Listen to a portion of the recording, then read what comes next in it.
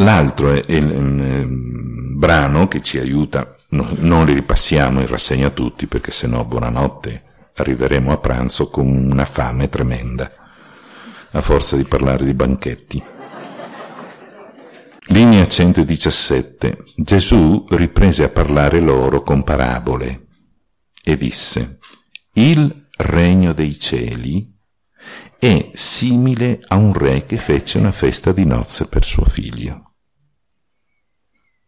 Conosciamo il testo, è inutile leggerlo tutto, c'è il rifiuto degli invitati, gli ebrei, e allora il re cosa fa? Dice ai servi, chiamate tutti. Siamo alla linea 124, la festa di nozze è pronta, ma gli invitati non erano degni. Andate ora ai crocicchi delle strade e tutti quelli che troverete chiamateli a nozze. Chi sono i crocicchi delle strade?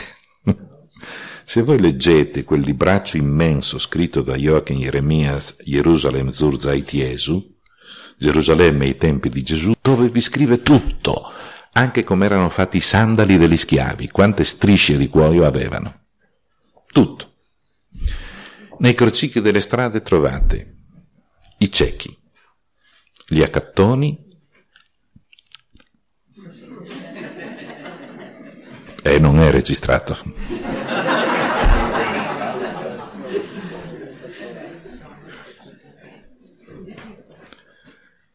Padrone, il re dice giustamente, chi è stato invitato e rifiutato, ciao, chiamate tutti.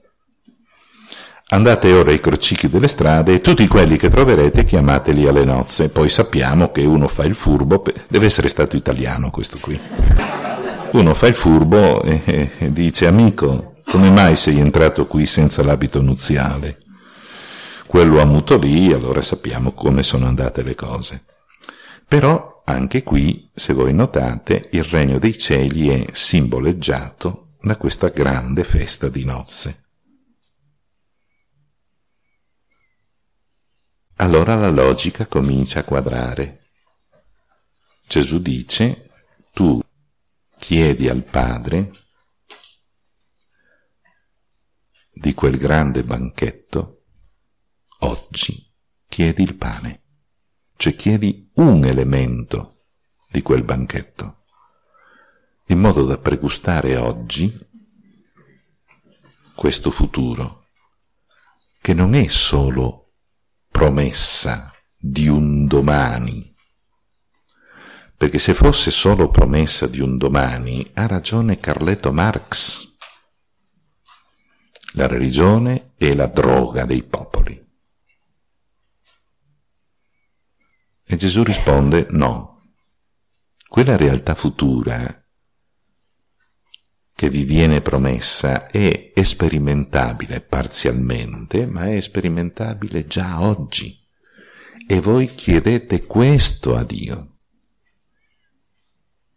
Chiedete di essere pienamente uomini, pienamente donne e chiedete di sperimentare oggi qualche cosa del futuro, in modo che il futuro non sia l'oppio dei popoli, ma sia una realtà a cui tendere perché reale in quanto già sperimentata nell'oggi. Questo si nasconde dietro la domanda daci oggi il nostro pane Continueremo pure a dire quotidiano, ma sappiamo cosa si nasconde dietro a questa parola. Ora, l'ultima domanda, e poi per questa volta abbiamo finito. La prossima prenderemo il tema dei peccati che sono interessanti perché gustosi. Peccato è gustoso. La domanda però è importante.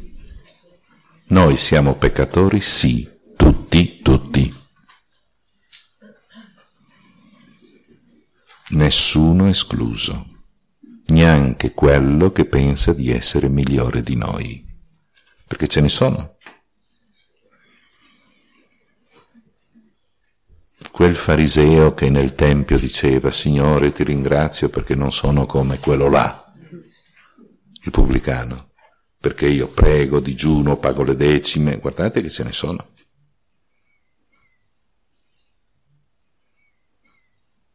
E Gesù con un sorrisino ironico dice, il secondo è tornato a casa perdonato, il primo con un peccato in più.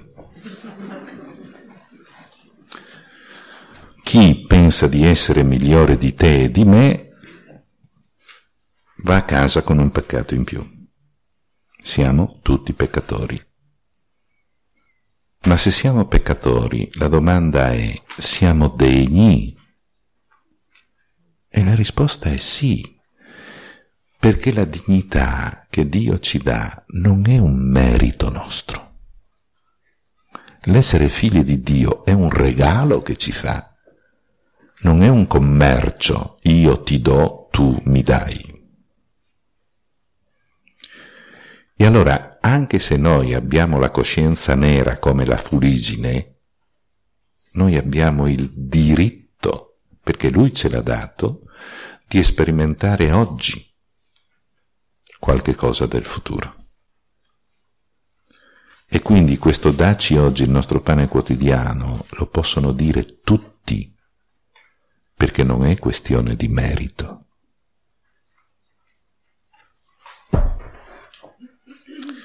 La domanda è, è possibile che la nostra fede si fondi anche sul segno, sull'esperienza? Paolo dice fides est de non visis. Attenzione, la fede è legata alle cose che non si vedono. Ma di queste cose che non si vedono, e Paolo lo ripeterà dicendo guardate che nel regno dei cieli ci aspettano cose che nessuno ha mai visto, nessuno ha udito. Sì, è vero. Però noi chiediamo qualche cosa. Questo è possibile, perché in tutto il testo biblico dalla Genesi all'Apocalisse, il segno accompagna sempre la fede delle persone. Questo l'abbiamo dimenticato. Non dimenticatelo. Ognuno ha bisogno. Non è un optional, è un bisogno. Quando Dio gli concederà di vivere questo segno? Bah, non lo so. Qualcuno all'inizio della vita adulta, per qualcuno verso la fine della vita, chi lo sa, non... Nessuno può dire a Dio che fai. Lo dice Giobbe e lo dicono tanti altri libri biblici, però il segno ce lo dà. Per questo ogni momento della nostra vita è importante. Io, Don Renato, anche quando vado alla toilette? È tutto importante. Perché tu non sai il momento in cui Dio ti pesca per darti questo segno.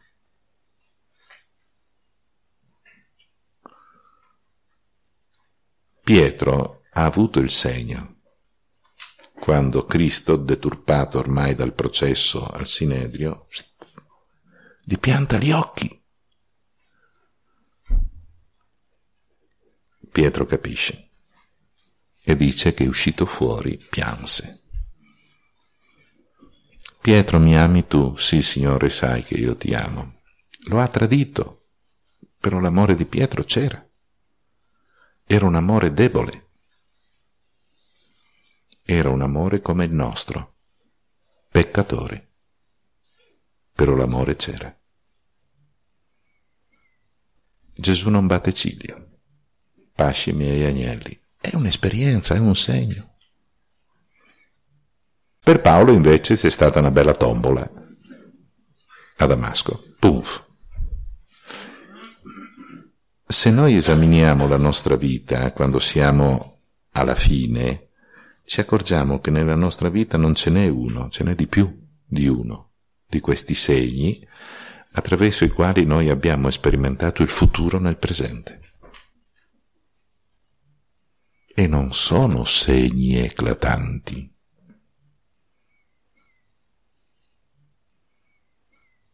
Esodo capitolo terzo, linea 134. Siamo a Madian, deserto, sole a picco, un arbusto che brucia e non si consuma, ancora caldo.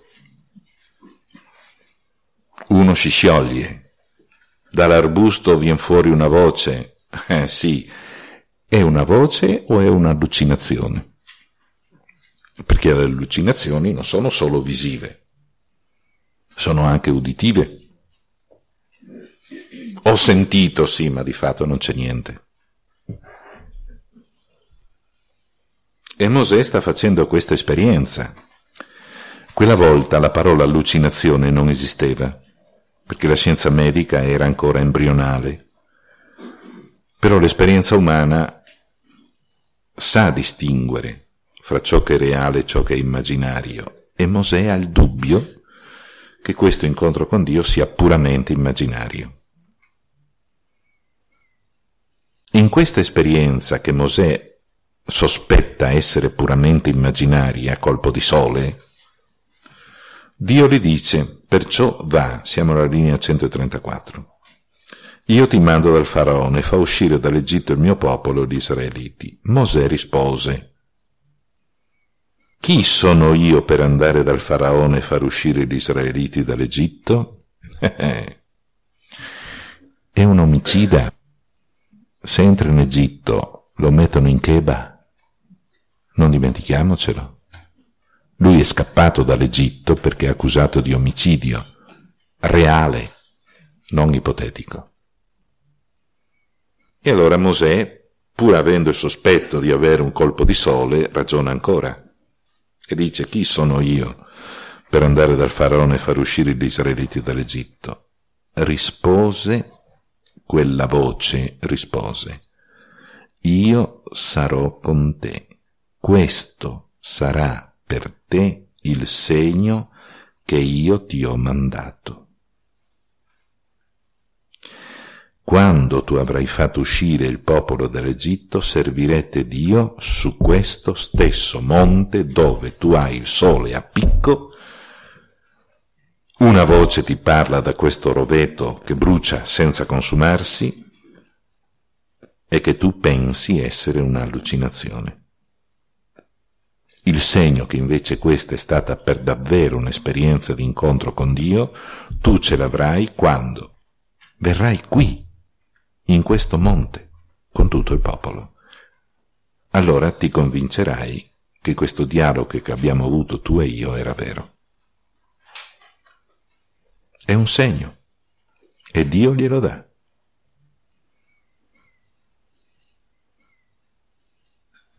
Ce n'è un altro simpatico. Questo qui è un contadino. Non è un grande condottiero come Mosè è l'uomo del quotidiano. Il Signore gli disse, si chiama Gedeone questo tizio, io sarò con te, stessa cosa che ha detto a Mosè prima, e tu sconfiggerai i Madianiti come se fossero un uomo solo. Gli disse allora, se ho trovato grazia ai tuoi occhi, dammi un segno che proprio tu mi parli. Sta gente non era scema.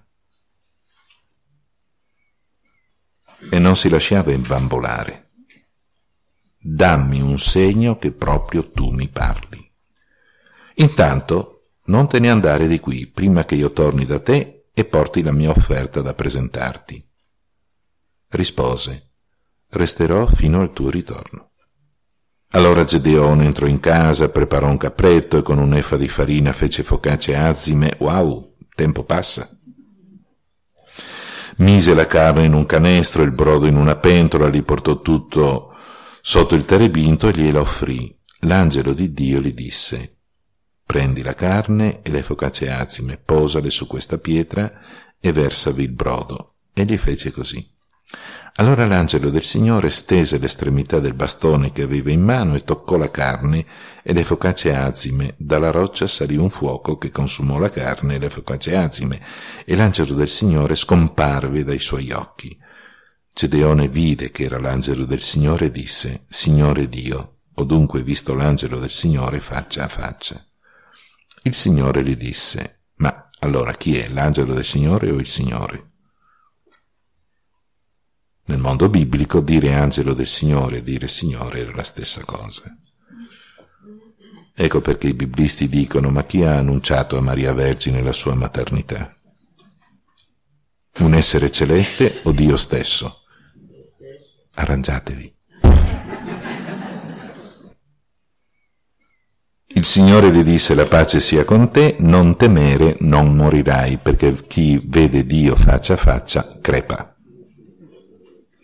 Allora Gedeone costruì in quel luogo un altare al Signore e lo chiamò Il Signore e Shalom. Esso esiste ancora oggi a Ofra degli Ebiezeriti. Il segno è importante. Cosa ha fatto? Dio lo ha aspettato. Anche nel primo libro dei re c'è qualche cosa di interessante, lo saltiamo perché sono le 11.25. Anche a Maria Vergine l'angelo dà un segno. Ecco, Elisabetta, tua parente, nella sua vecchiaia ha concepito anch'essa un figlio, e questo il sesto mese per lei che era detta sterile, nulla è impossibile a Dio. Allora Maria disse, ecco la serva del Signore, avvenga per me secondo la tua parola. E l'angelo si allontanò da lei. E Maria, che non è una devozionista, in quei giorni Maria si alzò in fretta e andò in fretta. Siccome è brutto ripetere due volte, in fretta l'ha messo solo nel secondo verbo. Si alzò e andò in fretta verso la regione montuosa in una città di Giuda eh, per andare a vedere la pancia sua, della sua parente. Guardate che la pancia della maternità è un fatto normale. Però in questo caso rivestiva il valore di segno, perché Elisabetta è stata sterile per tutta la vita.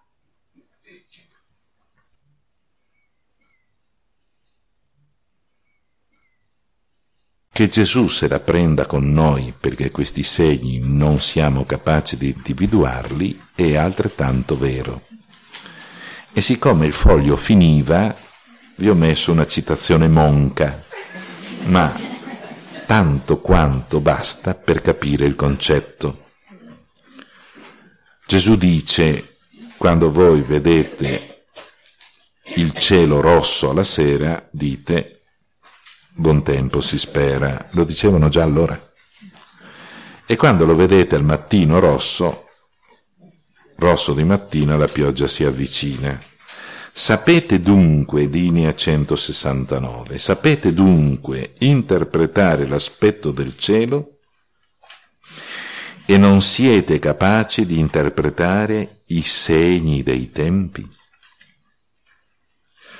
Una generazione malvagia e adultera. Gli avevano chiesto un segno. E lui dice, ma santo cielo, sto facendo miracoli a tamburo battente mi chiedete ancora un segno. Il dolce Gesù ai venerdì di traverso. Generazione malvagia e adultera. Provate a dirlo voi. Querela per diffamazione subito. Ma non le sarà dato alcun segno se non il segno di Giona. E non hanno capito un Kaiser. Il segno di Giona, i tre giorni, tra morte e resurrezione. Segno di Giona, Giona sta tre giorni nel cosiddetto ventre del mare. La balena ha una gola piccola così, si ciba di plankton. Giona e la balena, ma da quando in qua? Dunque, questi segni ci sono. Non esiste un segno standard per tutti. Esistono segni personalizzati e non pensiate che siano cose eclatanti. Sono cose normali, ma sono eclatanti per te, come la maternità di questa parente era eclatante per Maria Vergine, come per il povero Gedeone era eclatante che Dio lo aspettasse mentre lui faceva i brodini, le focacce.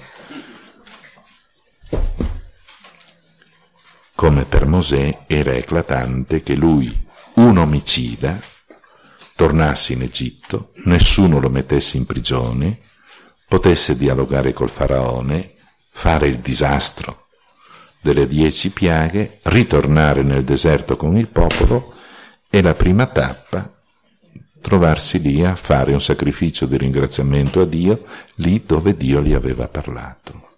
Cosa c'è di straordinario? C'è tutta una serie di avvenimenti che di straordinario hanno la sequenza. A domenica 9.